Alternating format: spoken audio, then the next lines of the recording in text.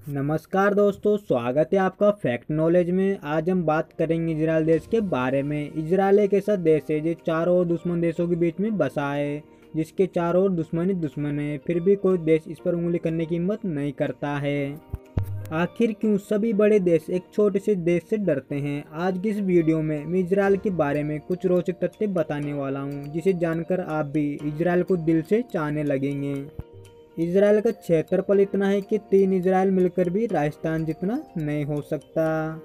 वहीं इसराइल की जनसंख्या की बात की जाए तो लगभग 90 लाख के करीब है।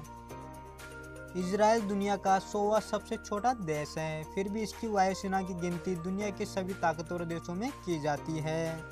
दोस्तों, जैसे भारत की रो एजेंसी है, इसी तरह इसराइल की एजेंसी का नाम मोसाद है, जिसका मतलब है मौत। मोसाद दुनिया की सबसे खतरनाक खुफिया एजेंसी है।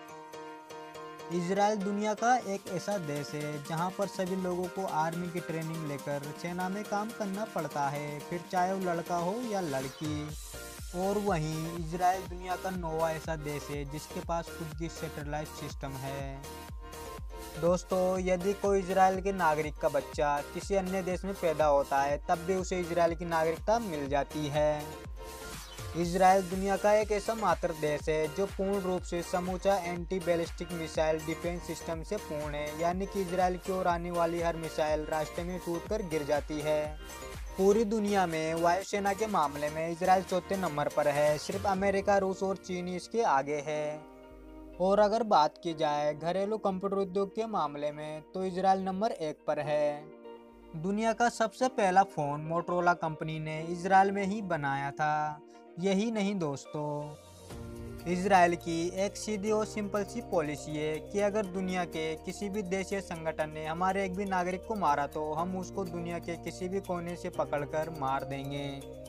दोस्तों इसराइल में यहूदी सुअर नहीं पाल सकते क्योंकि ये कानूनन जुर्म है। इसराइल अपनी ज़रूरत का छिन्नवे प्रतिशत खाद्य पदार्थ खुद ही उत्पन्न करता है।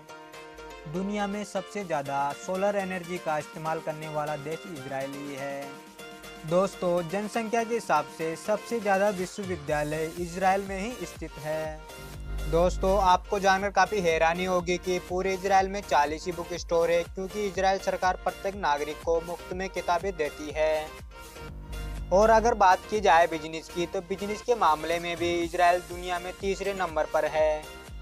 और पूरी दुनिया में सबसे ज़्यादा हीरे की कटिंग और पॉलिश इसराइल में ही होती है। क्या आपको पता है, महान वैज्ञानिक अल्बर्ट आइंस्टाइन भी एक यहूदी थे? दोस्तों, दुनिया का सबसे पहला एंटीवायरस इसराइल ने सन उन्नीस में बनाया था। दोस्तों, पाकिस्तान के नागरिक को इसराइल में जाने की अनुमति नहीं है, क्योंकि पाकिस्तान इसराइल से नफरत करता है। और नरेंद्र मोदी ही भारत के एकमात्र ऐसे प्रधानमंत्री है जिन्होंने इसराइल की यात्रा की हो। दोस्तों, पूरी दुनिया में सबसे कम बारिश इसराइल में होती है। इसके बावजूद भी इसराइल ने कृषि उत्पादन में पिछले 25 सालों में सात गुना ज़्यादा इजाफा किया है। इसराइल पूरे अरब देश में एकमात्र ऐसा देश है, जहाँ पर महिला और पुरुषों को बराबरी की आज़ादी दी जाती है। और दोस्तों इसराइल का राष्ट्रीय पक्षी हुप्पो है। दोस्तों, वीडियो को एक लाइक ज़रूर कर दीजिएगा। आपको इसराइल के बारे में जानकर कैसा लगा, हमें कमेंट करके ज़रूर बताएँ और वीडियो को शेयर करना ना भूलें।